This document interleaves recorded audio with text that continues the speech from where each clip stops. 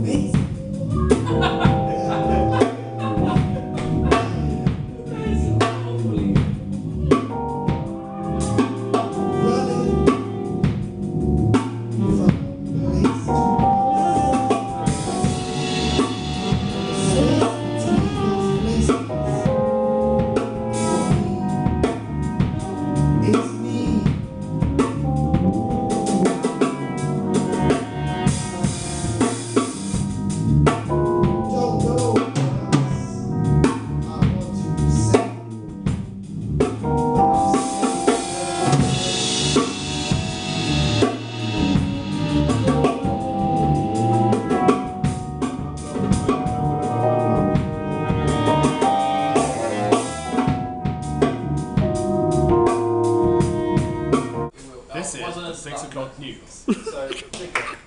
Wait, wait, let me do it so it's actually TV set and it doesn't work so well. Well done, James.